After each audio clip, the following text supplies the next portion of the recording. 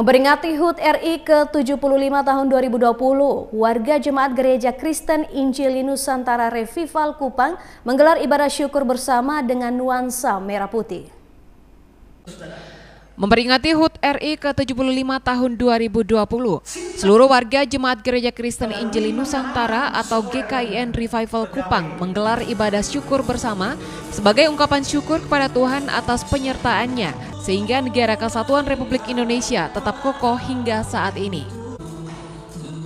Pendeta Esra Alfred Soru dalam khotbahnya mengatakan, sudah selayaknya umat Tuhan terutama warga jemaat Kristen di mana pun berada patut mengucap syukur karena atas kebaikan Tuhan Indonesia masih kokoh hingga menemui ulang tahunnya yang ke-75.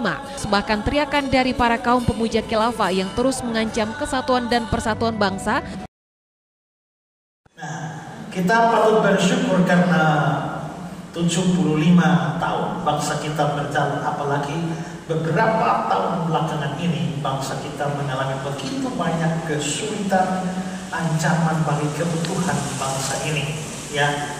Tindakan-tindakan anarkis perpecahan-perpecahan berbagai macam golongan upaya-upaya untuk menggulingkan dasar negara kita dan menggantinya dengan dasar yang lain perjuangan-perjuangan kaum khilafah yang membuat bangsa ini berada pada ancaman-ancaman yang serius dan kita bersyukur bahwa bangsa ini masih ada sampai hari ini.